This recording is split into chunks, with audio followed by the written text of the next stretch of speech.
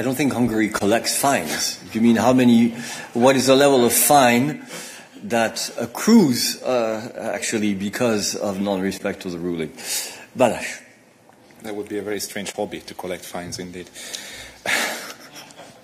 So um, on the 93 million, actually the deadline will expire uh, tomorrow. So and that's because we sent out the reminder um, on the 4th of November. So from there we count 15 days. So that's 19, uh, 19 November.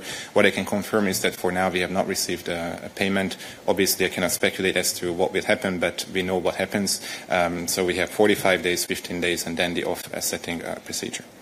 Then, so the 93 million covers a, a, period going from the 13th of June until the 13th of September. Your second question was about the next interval that we are going to, to uh, target. So that will go from the 14th of September until the 13th of November. And the first call for payment in this regard is expected to go out today. Okay, so that will be a two-month period uh, uh, this time. And how much uh, uh penalty has accrued um, since the court decision of 13 uh, June? Well, as many millions, as many days that have passed since the 13th of June.